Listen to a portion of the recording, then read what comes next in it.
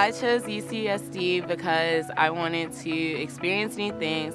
I'm from Georgia, which is on the complete opposite side of the US, and I wanted to see how life would be like in California. If I had to use one word to describe UC San Diego, I would definitely say unique. The environment here, being like so close to the ocean, having like so many cool things to do in such a great city like San Diego. So I think it's definitely unique.